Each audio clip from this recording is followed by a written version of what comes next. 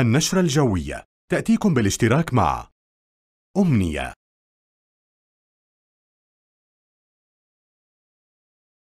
المناصير للزيوت والمحروقات. شركة بسطامي وصاحب وكلاء نيسان وإنفينيتي في الأردن. Leaders Center.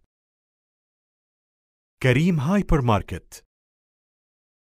منصة أبواب التعليمية. المهنية للاستثمارات العقارية. والسعودي وشركاه للتطوير العقاري. مجمع الملك الحسين للأعمال. متابعينا الكرام في الأردن أسعد الله أوقاتكم بكل الخير. إليكم نشرة الأحوال الجوية الرئيسية لهذا اليوم والتي سنبدأها بآخر صور.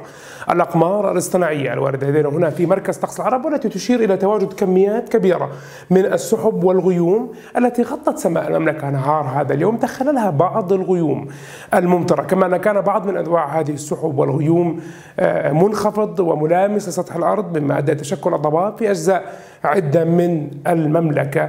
وطبعا يعني كانت الأمطار حاضرة في أجزاء واسعة من المملكة. بعد آه، انتهاء تقريبا معظم التبعات الرئيسية لهذه الأحوال الجوية غير المستقرة التي أثرت على المملكة خلال تقريبا 48 ساعة القادمة. نستعرض معكم كميات الأمطار.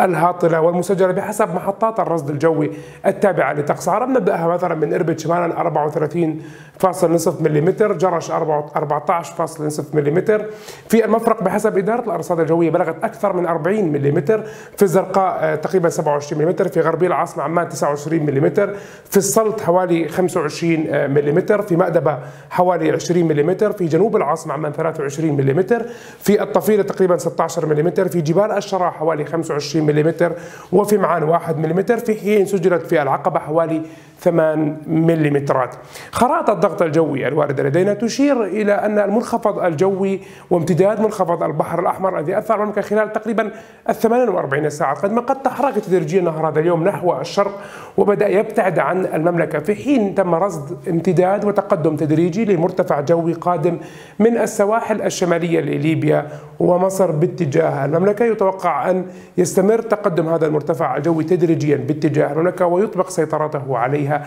خلال تقريبا الأربع أيام القادمة مسببا استقرارا عاما على الأجواء وارتفاع على درجات الحرارة. بالعودة للأحوال الجوية هذه الليلة في العاصمة عمان فالأجواء تبقى باردة نسبيا إلى باردة ودرجة الحرارة الصغرى 8 درجات مئوية مع أجواء غائمة جزئيا نتوقع استمرار تشكل الضباب فوق بعض المرتفعات الجبلية في المملكة. تبقى فرص الأمطار حاضنة بشكل محلي ومتفرق وخاصة في المنطقة الجنوبية من المملكة. توقعات الأحوال الجوية خلال الثلاثة أيام القادمة تكون على النحو التالي. يوم السبت 15 درجة مئوية في ساعات النهار مع أجواء غائمة جزئيا بوجه عام. تكون الصغرى ليلا 7 درجات مئوية لكن الأجواء يتوقع أن تكون رطبة وباردة للغاية ويتوقع تشكل الضباب في أجزاء مختلفة من المملكة. يوم الأحد تبقى الحرارة العظمى 15 درجة مئوية في ساعات النهار مع ظهور كميات من السحب والغيوم والصغرى. 7 درجات مئوية توالي درجات الحرارة ارتفاعها يوم الاثنين تسجل 19 درجة مئوية في ساعة النهار والصغرى 11 درجة مئوية.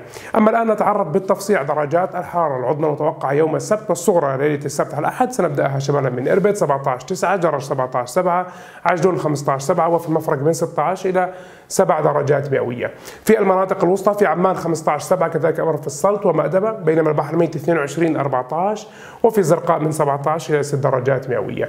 في المناطق الجنوبية تكون في العقبة 22 15 في الشرع 10 إلى 5 درجات معان 14 5 الطفيلة 13 8 وفي الكرك 14 إلى 9 درجات مئوية وفي المناطق الشرقية تكون في الرشد 14 6 الصفاوي 16 5 وفي الأزرق من 17 إلى 7 درجات مئوية.